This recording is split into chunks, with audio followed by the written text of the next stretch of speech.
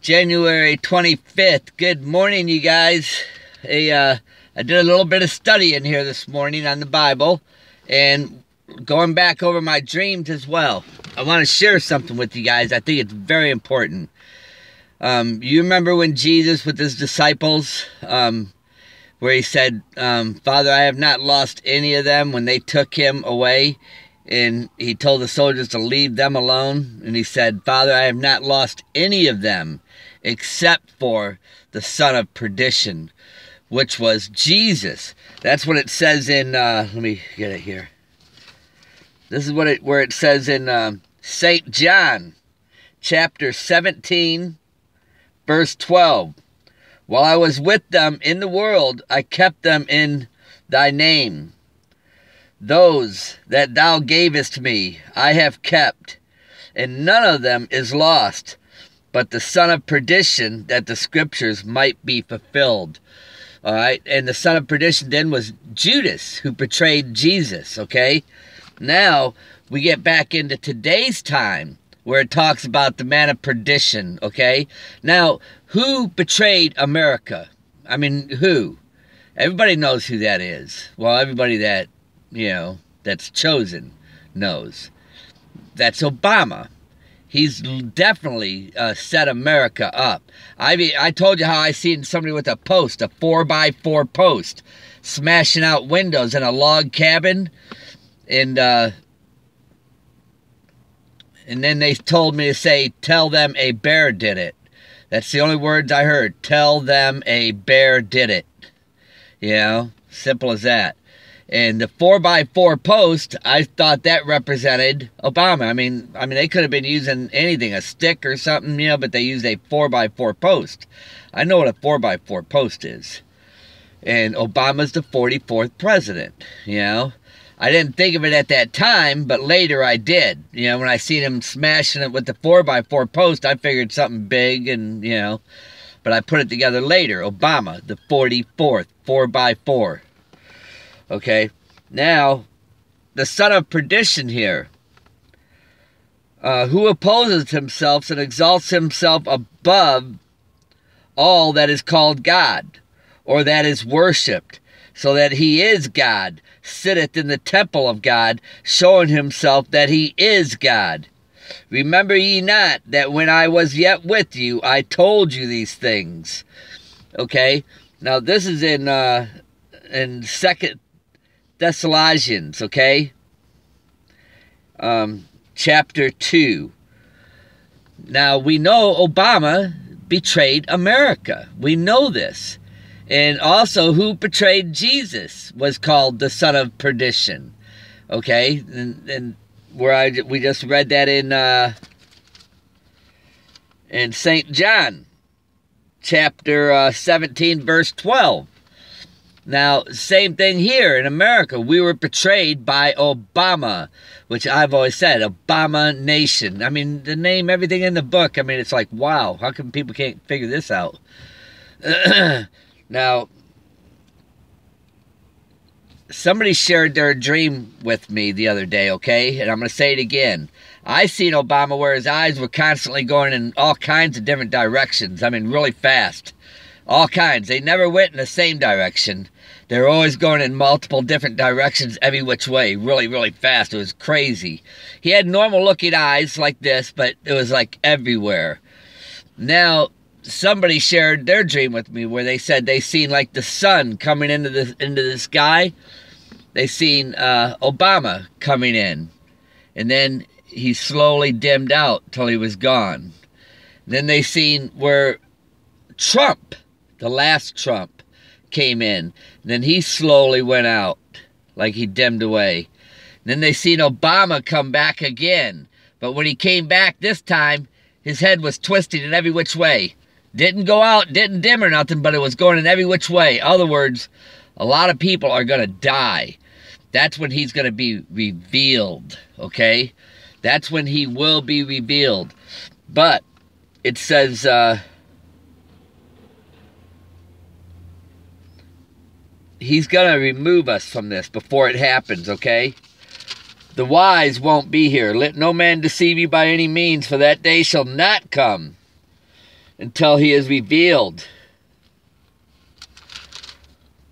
Except for come a fallen away first, and the man of sin be revealed, the son of perdition. We know who that is. Obama betrayed America. Okay, but also we also know the Bushes were all part of it. They're all part of it, but Obama was the head of it. Okay? Now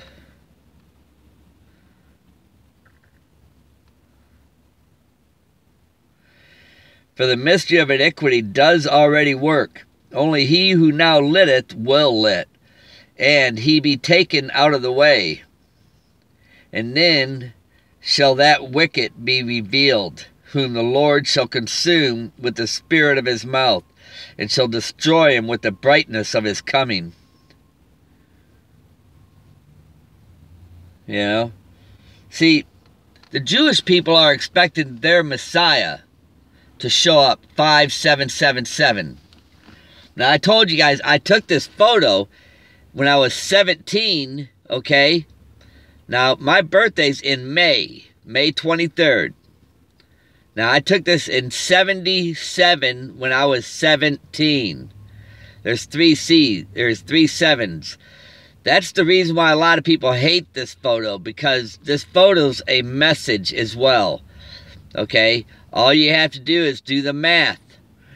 Now, this May, I'll be 57. And the Jewish calendar is 5777. Okay? I know this is just a photo, but it's a message from the Lord to let us know. Okay? I will be 57 in May. I believe anytime between now and May we could leave. Because I also know that the calendars are probably a little off, out of whack. More than likely they are. Because, you know, we got 30 days one month, 31 another, and 28 days next month. February is the shortest month of them all. Um, but I believe we could leave any time. My dream that I had last night told me even... Uh, where we were playing tennis, you know. Like I said, it was nothing professional about it, but uh, the guys came and chose, we were chosen. And he said, go back into the locker room. In other words, a place to be until things happen, or, you know. But that's what happened. We went into the locker room.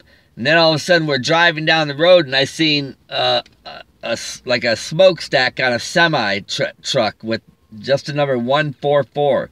Didn't have the the O's behind it or nothing, just 144. And uh, so I'm taking that as the 144,000. As we were going, the 144 were probably being sealed, you know, and things are going to get really hot, I guess, because it was right on the muffler.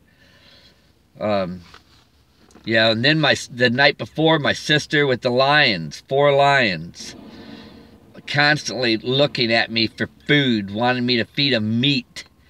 And there was lots of pieces of meat everywhere, but they didn't want that meat. They wanted fresh meat. And it was like they were like devouring it, and whatever fell out of their mouths, they, they didn't want it. You know, and I was like, man, where's she at? When is she coming back here, man? And I was thinking, why would she have this kind of animals for pets? This is insane. Um, let me tell you guys something, man. I never dreamed like this in my life.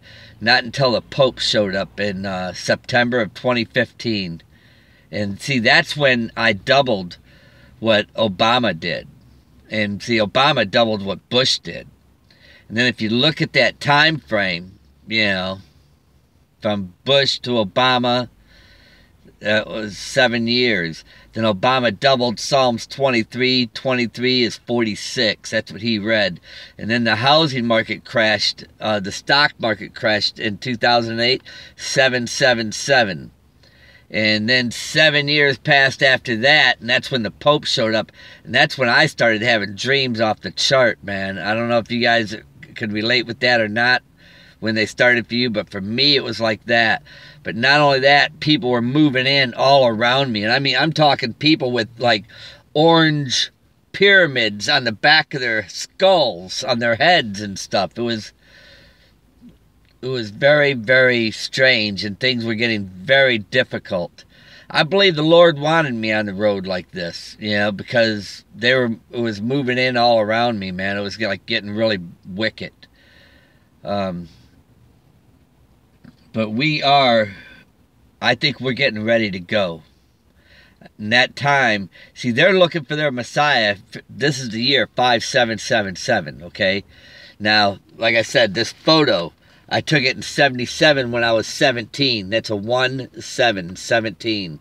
Now, in May, I'll be 57. That's a 5 7. In 77 was this photo. That's the same as the calendar year. I mean, do you find that as a coincidence that it just happens to tie in the same year as their uh, 577? I mean, really, look at this. Stop and think about this for a minute now, okay? I was 17 then when this was taken, and now I'm getting ready to be 57, and this was in 77. That's 5777. That's why people are speaking against this, me showing this photo. They don't like that I'm doing this. And the Lord gave this to me for that reason. I know He did. See, there's a picture that I took in the sky, and I believe this is the, uh, the Lord. I believe that's the Spirit of the Lord right there. See the color in the cheek? Then you can see a face looking down on the earth. Then it turns really quickly going forward. And then see this here? There's a chin and a mouth. I seen that whole face of the spirit right here in a store, but he was smiling at me. And that's when a lot of, but he was moving really, really fast where I barely got a glimpse of him. It was really fast. Really fast. It was hard to even see him, but I did see him and he was smiling at me. And then that's when I started seeing things everywhere, man. It was as if they opened my eyes. Let me tell you something, man. You have your eyes open to what's going on in this world, and you see what's really happening, it'll blow your mind. It'll blow your mind. And then you'll understand why so many of these things we're way outnumbered here. You got to remember, only five are wise and five are foolish, okay? And out of that, um, that's out of the whole world. Okay, so a lot of you guys here in different parts of the world, your eyes are open, but other people aren't. You could have family members that look at you like, what are you talking about? Like, you're crazy. You know, they don't see what we see. And everything is meant to be this way. We're being, we've been, it's like a harvest. You know, we're the chosen. Like I got picked on that team. Go back there, you, you know, you go back there. They were picking the people that they wanted, the chosen. And there's a lot of people that are going to be left behind because they're not, they weren't watching. They weren't doing what they were supposed to be doing. It's like that church across the street over there. It's shut down, you know? It's closed. It's a big, huge church, too. Let me see if I can show it. You guys probably see it from there. You see it? That's a huge church. You know, it's a huge church. Very huge. But anyhow, I wanted to share that with you guys. We don't know how much more time. I know it's this year, though. I have no doubt about it. This is the year of his coming. Okay, the Jewish people are right about that, too. This is the year of his coming. But will they be deceived? Yes, because he's going to sit on that uh, on the temple well, he's going to sit there and call himself God. The Bible says that he will. Okay? The Bible clearly says that he will do this. And for anybody out there, this is a photo. The Lord gave it to me. That's all it is. It's nothing to be worshipped. It's just a picture. You know, I ain't making it out more than that. It's all about Jesus Christ. It's all about having the blood of Christ on you to be saved. It's all about repenting but that photo is a message. It is a true message. And I'm telling you, the time's at hand now. Between now and September, they're looking for him to come in September October. And I believe there's going to be a lot of chaos in the war, and, and Obama is going to come back in, and chaos is going to happen. It's going to be devastating. It's going to be so devastating people won't be getting messages out to each other. They're going to be just basically probably trying to survive through what's happened. And most people won't even have the truth in them, the word, the real truth in them.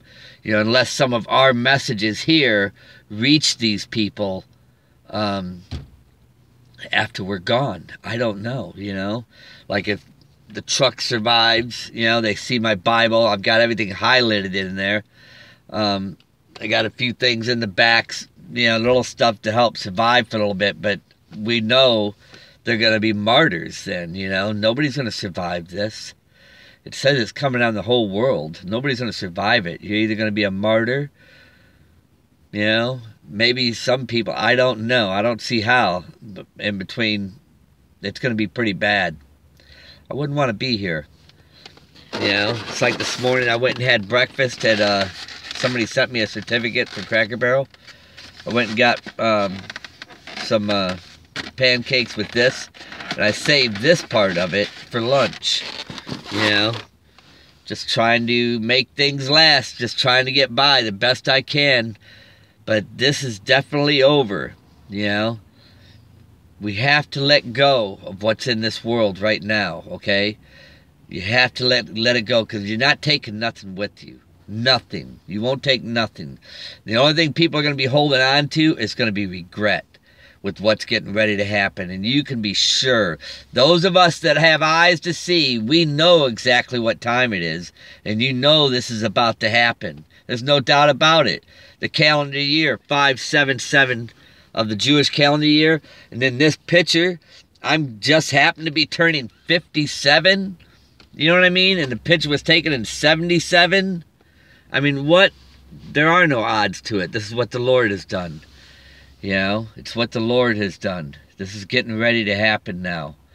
So everybody needs to be, um, you need to be aware.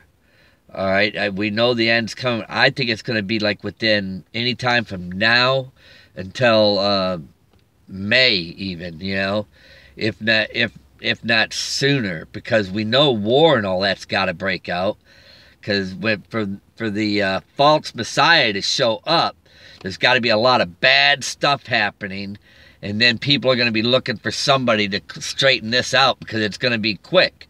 You know, when you talking nuclear wars, man, billions of people will die in that really fast. It's going to be really fast. You know. So God bless you guys. I hope and pray that you got something out of this message. And I hope that this thing will load up here just fine. I'm going to see right now. God bless you. And please check the description box.